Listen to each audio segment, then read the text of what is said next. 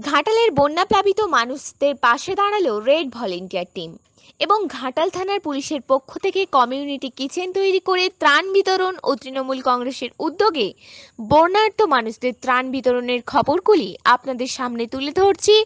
আমি অন্বেষা জানা। ঘাটাল মহকুমার বিস্তীর্ণ এলাকা শিলাবতীর জলে প্লাবিত হয়ে যায়। বানভাসী ওই সমস্ত মানুষদের সাহায্য করার জন্য আজ উনিশে আগস্ট স্বাস্থ্য শিবিরের ব্যবস্থা করল রেড ভলেন্টিয়ার টিম। ঘাটাল পৌরসভার সাত নম্বর ওয়ার্ডের রামচন্দ্রপুর এলাকায় শিবিরের আয়োজন করা হয়।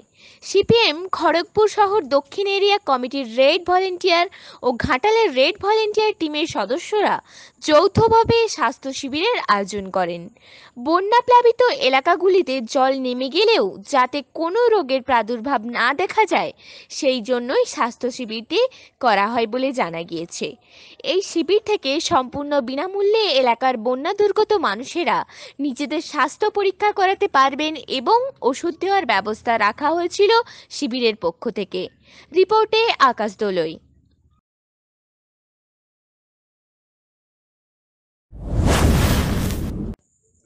ঘাটাল থানার পুলিশের উদ্যোগে তৈরি কমিউনিটি কিচেন থেকে আজ উনিশে আগস্ট ঘাটালের বন্যাপ্লাবিত এলাকায় রান্না করা খাবার পৌঁছে দেওয়া হয়। ঘাটালের সুলতানপুর এলাকায় মানুষদের খাবার দেওয়া হয়।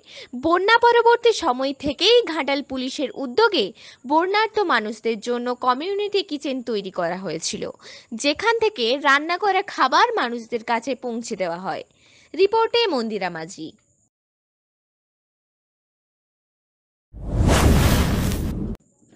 ঘাটাল ব্লকের মনসুকা গ্রাম পঞ্চায়েতের গঙ্গাপ্রসাদের জলবন্দী মানুষদের জন্য কিছু শুকনো খাবার, পানীয় জল, ত্রিপল, ওষুধ দ্রব্য তুলে দিলেন ঘাটালের বিধায়ক শীতল কপাট। গ্রামের মানুষের থেকে সুযোগ সুবিধা না পাওয়ায় নানান অভিযোগের কথা শোনেন শীতলবাবু। রিপোর্টে তৃপ্তিপাল কর্মকার।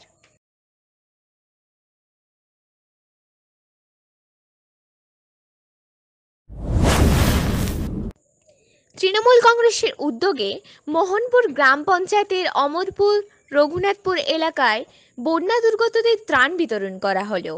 আজ বৃহস্পতিবার ওই সমস্ত বন্যা দুর্গতদের চাল, ত্রিপল, বস্ত্র বিতরণ করা হয়েছে বলে জানা গিয়েছে। টিম স্থানীয় সংবাদের রিপোর্ট। আজ উনিশে আগস্ট দাসপুর দুই ব্লকে চক সুলতান, চক কিশোর, বিষ্ণুপুর আরও অন্যান্য গ্রামে বিদ্যাসাগর মেমোরিয়াল ফাউন্ডেশনের পক্ষ থেকে কিছু ত্রাণ সামগ্রী তুলে দেওয়া হলো। উপস্থিত ছিলেন ট্রাস্টের সম্পাদক কালীপদ সেনগুপ্ত, কার্যকরী কমিটির সহ সম্পাদক মিন্টু বেরা ও তন্ময় সিংহ, বিপ্লব দোলই ও শ্যামল জানা প্রমুখ।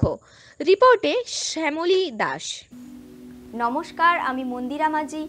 ঘাটাল মহকুমার সমস্ত খবর পেতে আমাদের ইউটিউব চ্যানেলটি সাবস্ক্রাইব করুন এবং ফেসবুক পেজটি লাইক করুন।